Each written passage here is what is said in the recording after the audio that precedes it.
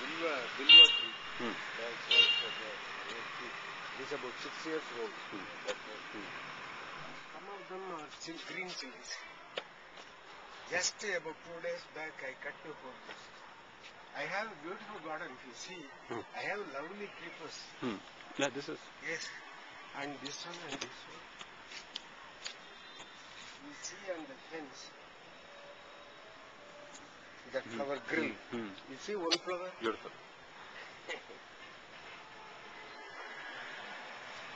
And another one creeper here, you can see that Hmm. flower.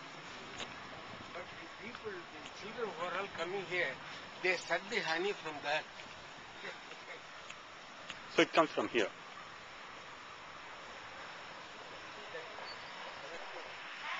No, this this is the plain roof.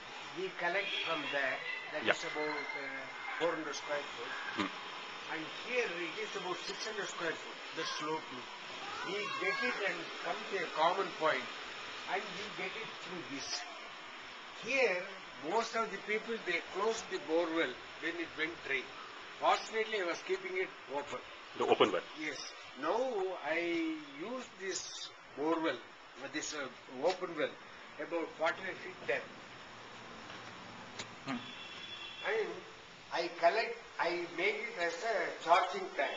Hmm. Instead of a concrete tank, Hmm. I made it as a charging tank. So the percolation is continuous. Hmm. If you see inside the well, Hmm. you can see the percolation coming out. Hmm. And I get this common comes to the uh, barrel. This barrel contains purely a charcoal and uh, two uh,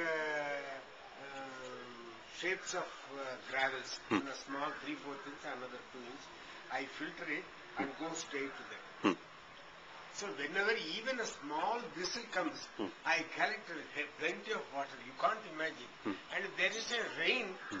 it is more or less a pillar of water. Right. So the percolation is continuous. So I don't get a Kaveri water for the last five, day- five months. Uh, May month, my son's marriage was there. Hmm. I have not purchased even a single liter of water for the marriage. Hmm. Lot of people here, it goes straight to the well. I don't use this sampata. Hmm. I get it only for eight days. Now the problem is, I have a roof garden. I will show you that also. It is only pure, not like in your house. Yes, I am a Rosarian. So just for at the old age I wanted to give some. And that water, whenever I pour water for the pot, that also comes and goes to that. Of course it is filtered.